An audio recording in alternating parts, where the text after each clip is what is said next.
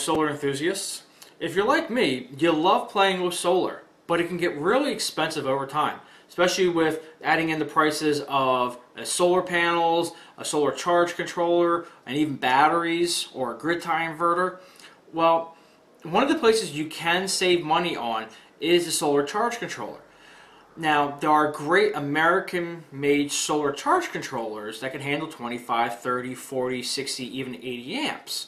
But you're looking for five to thousand dollars easily for those solar charge controllers. And they work great. But that's a big expenditure, especially if you're building a smaller system, say two to three hundred watts for a shed or portable, some site like that. You can get the solar charge controller cheaper if you shop around and you know what you're looking for. Uh, looking for a quality device. Now, I have a brand new China-based solar charge controller. Did I just say China? Yeah, Chinese-based solar charge controller. I know. At least 85% of the charge controllers that come out of China are usually junk. Either the solder points suck on them, they're fake marked, especially when it comes to uh, MPPT charge controllers. A lot of them will say they're MPPT, and for people who don't know what that is, that is maximum power point tracking. I'll get back to that in one second for people who don't know what that is yet. Um, will become uh, fake marked from the factory or wherever it's built, and you come to plug it in, you try it out, and it's nothing more than a cheap PWM. Now let's get back to the two terms. PWM and MPPT. PWM stands for pulse width modulation. You usually find this in the cheaper charge controllers, anything from $15 up to maybe 80 or 90 if it can handle like 40 or 50 amps. What happens in a PWM charge controller is you have your solar panel power coming into the charge controller and then you have battery power coming out from the charge controller over to the battery. So it sends a charge over to it. Basically a PWM, when your battery is dead, say 10.5, 11 volts or so, basically it switches MOSFET, which is an electronic switch, on and just directly connects the power. So it goes from the solar panel over to your battery and it's just acting as a switch. That's all it is. When your battery finally hits full charge, it will turn itself off and then flip itself on and off, on and off so it can maintain a voltage, say 13.2 or 13.5, wherever the float voltage is programmed for that one, for that style of battery. Now the problem with this is the solar panel works at a certain voltage. You can get, say you got a 200 watt solar panel. It's rated at 17.5 volts as its maximum power point, roughly, give or take a volt, depending upon the conditions, how sunny, how shady it is, and what angle the panel is set at. What happens is, when you directly connect that solar panel to the battery, the solar panel's voltage goes from an open circuit of 21 voltage, drops through the maximum amount of power so you can get that full 200 watts of power from the solar panel drops past that 17 or 18 volt level and goes all the way down to the voltage of the battery say 10 or 11 at this point your 200 watt solar panel just became a 50 watt solar panel. You got this big honking 5 foot solar panel that's working like this because it can't get the voltage correct. So you lose a lot of power in the process. As the battery charges up, gets up to 13.5, your 200 watt solar panel might get up to 75 or 100 watts, but you're talking 13 and a half volts for the battery versus a solar panel loves 17 and a half to make that 200 watts. And that's the inherent problem of a PWM. Now when you switch over to MPPT, which stands for Maximum Power Point Technology, basically what it does, it has a specialized DC to DC converter built into the charge controller. It takes in the panel, the uh, power from the solar panel, uh, normally open circuit, say 21 volts or so. It'll take it in and it'll see the batteries at 10.5 volts on the opposite side. What it does is it will take the 21 volts, bring it to the solar charge controller, change some of the voltage into extra amperage then push it back out at 10 and a half 11 volts. As the voltage of the battery comes on up as extra amperage.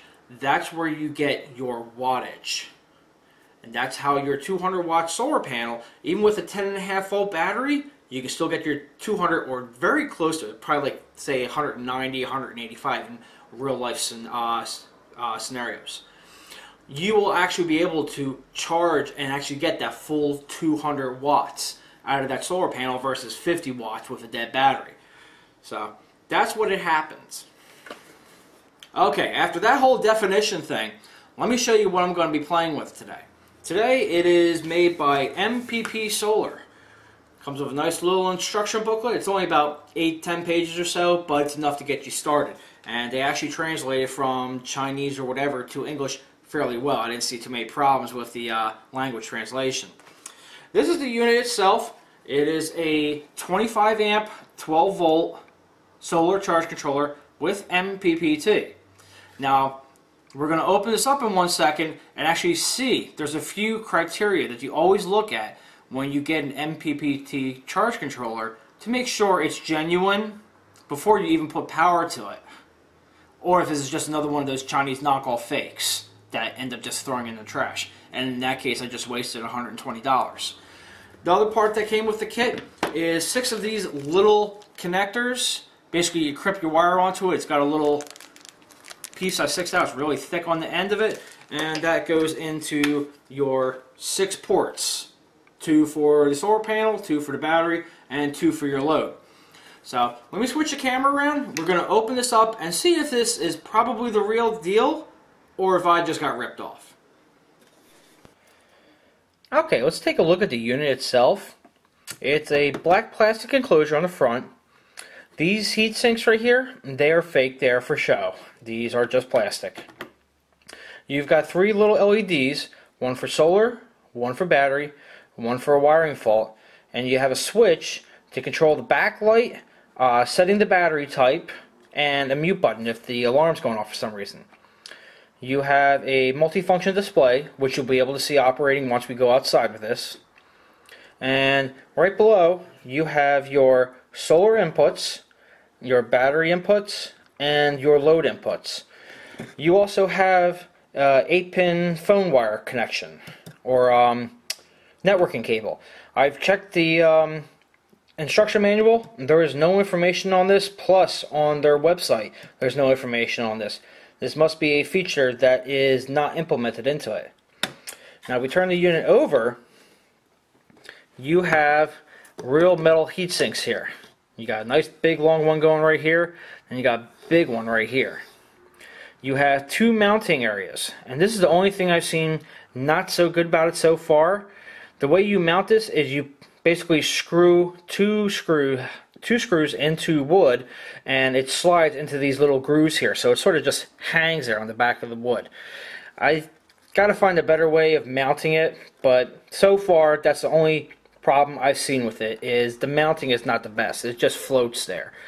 So let's turn it on over and open it on up and we'll see if we got these uh, few items in here that are truly make it an MPPT controller. Now there are two separate pieces of wiring here. You have wires running from this main circuit board over to the top area, which is your LEDs and your button. Then you got a smaller ribbon cable right here, which runs over to your uh, LCD display. Now, while we're in here, one of the first things you want to look at to see if this is a true MPPT controller is these big round coils of wire called toroids. If it has one or more of these, chances are it is real. And it can't be just one, two, three windings and that's it, and just be air there's a ferrite core, an iron core inside wrapped around here. These are real. So that's a good sign right there. We've got a few capacitors. We have a few more um, surface mounted inductors, one here and our two tiny ones down inside here. There is a header board right here, which I'm going to assume is used for programming the 48 pin microcontroller. I can't tell which microcontroller it is because there's a piece of paper over it with just a number, but that's also a very good sign. There's actually a microcontroller inside here. You have your regular power bars, your power bus, and you have power MOSFETs and more power MOSFETs and a uh, dual diode right here. So everything in here says, guess what? This is probably an MPPT charge controller. And also, they didn't skimp on the production on it. You have surface mounted capacitors. If um, when you get yours, you look at the soldering. The soldering is not shoddy. There's not any um, bad solder joints, cold solder joints, um, solder bridges. Everything looks actually very professional.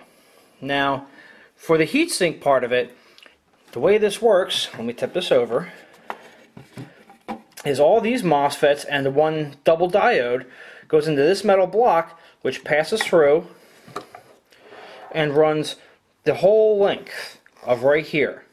I believe this is mostly your output section, but I could be wrong. So you actually have a lot of heatsink space in here. Now for the top row of MOSFETs, as your solar power inputs going in here, so I assume this is for your MPPT and your PWM when the batteries are fully charged. That goes through the case, and then again, through the top of it, goes through this smaller top bar. So they did a very good job of heat sinking this. Now if you got the 24 volt model, there is an extended heatsink which goes another three or four inches, which you can see on their website and actually reading the PDF from their website on these specific charge controllers. So we're going to close it back on up now. We're going to take it on outside. I'm to plug it into uh, a battery I have that I've drained down to I think about like a 12 or 11 and a half volts or so. This way it's pretty low. And we're going to test it on out. See what it does. Okay, here's my test bed on the outside. I got my 100 amp hour battery, and you can see now the display is on. The uh, battery sitting at about 12.3 volts. Let's check and see how accurate that meter is. So we'll go positive and negative here. Get my fingers out of the way. Get a good connection. There we go. So sitting at 12.3 volts and it's reading 12.38, so that's pretty good. Um, right now I have a 15 and 16 watt load on it. It's a converted box fan that runs on DC and it's plugged in right through here. You can trace the wire right on back on over to it. It's on medium and I know for a fact that that pulls about 15 watts. Uh, if you put it on low though, it pulls about 5 or 6 watts and doesn't really register it. So anything below 10 watts on the load section, it's not going to pick it up. If I put it back on medium, it'll pull 15 watts and it shows it perfectly fine. And our solar panel at the moment is right over here. It's covered because I don't have it connected all the way yet. I don't feel like getting shocked. This is a 24 volt, 200 watt solar panel from Canadian Solar and we're going to hook it up and see what we get here. So first, I already have the positive connected. Let me connect the negative, which is right here. Okay. Now even with the solar panel covered, you can see it's still making enough electricity that it sees the solar panel. Believe it or not, there actually is a green light on right there. I don't know if you can tell, and that just says the battery is connected. Of course, right now, since the solar panel is still covered, we're not really making any uh, amperage right now or any wattage charged. So, and second, when I have Triana uncover the solar panel, we should see this wattage and amperage charging current come on up. So, if you wouldn't mind, love, take the cover off and let's see what it does. There's our 200 watt solar panel. It's going down here. And amperage, the wattage is still going on up. I'm to shut the fan off for the time being take off the load. And remember, this this panel is 24 volts at 7 amps. So we're only getting 90 watts. It's laying on the ground right now. Let's give it a minute or two and see if it can uh, trace the uh, MPPT and give me a little more current. Okay, let me read the back of this uh, solar panel here.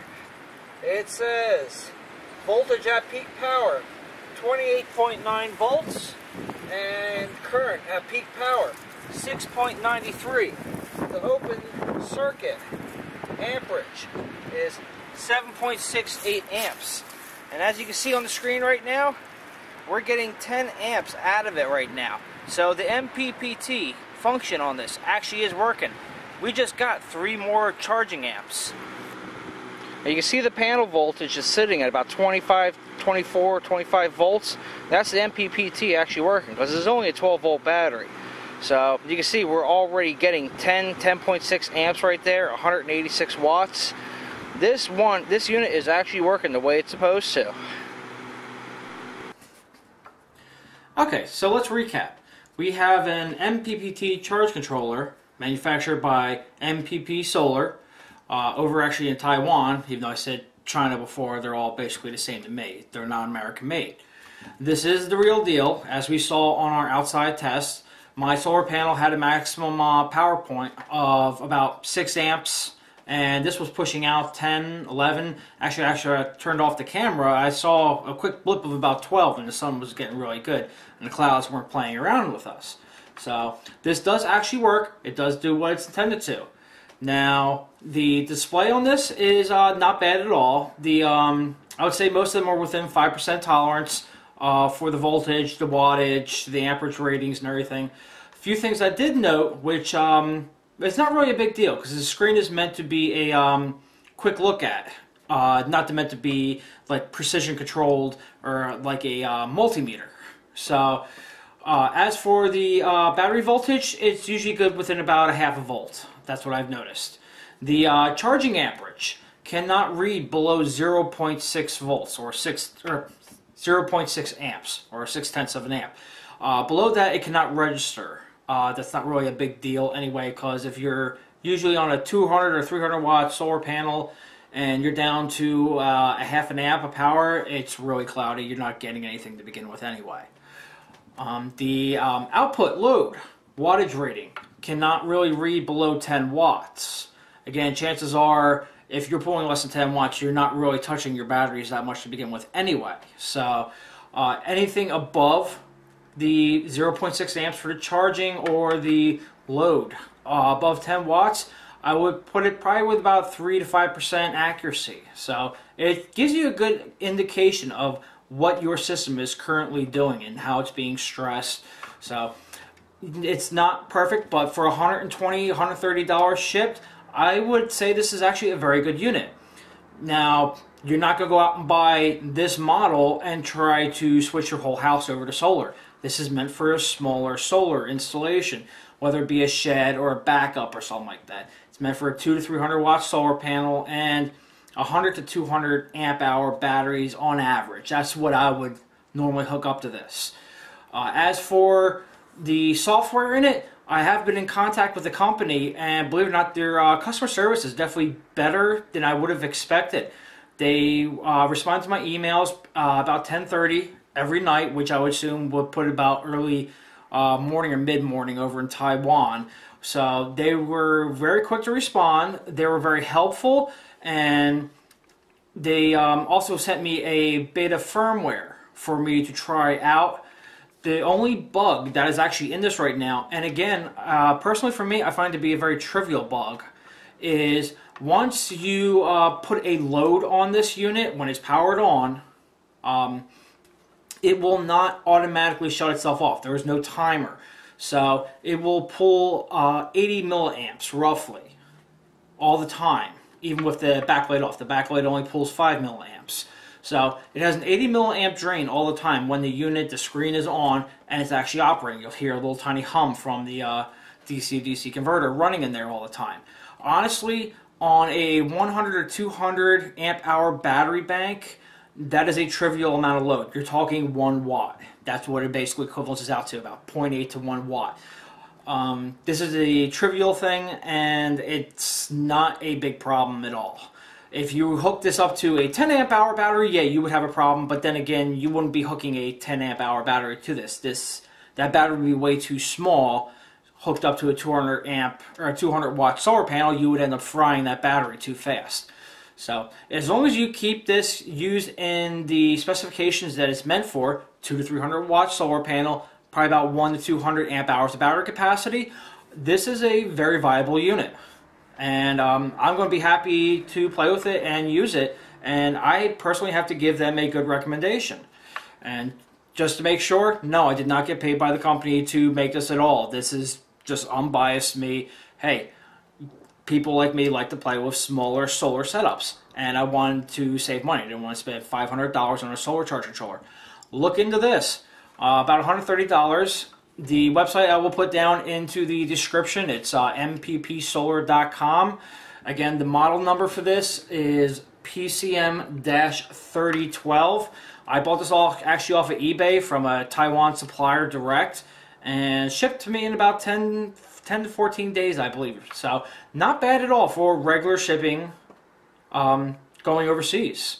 So if you have any questions or comments, leave them in um, the comments area and I will get back to you. And if uh, I missed anything, I will add it into the description. By all means, please read the description. I will always have more information there that I forgot to blab about while making this video. So thank you very much and um, subscribe to my channel because I will be using this in the next few weeks as I build uh, solar camping battery box version 3.0.